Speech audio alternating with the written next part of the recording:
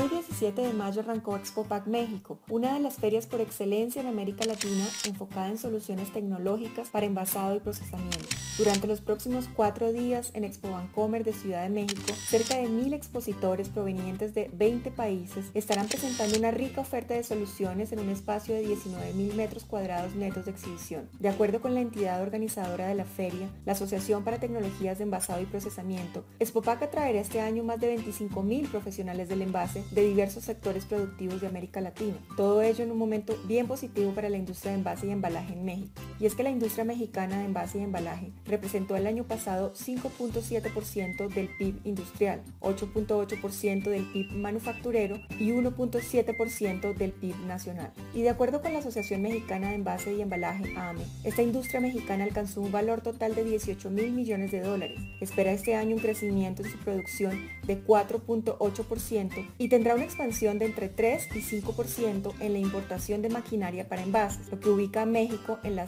séptima posición del ranking mundial en importación de maquinaria para el sector.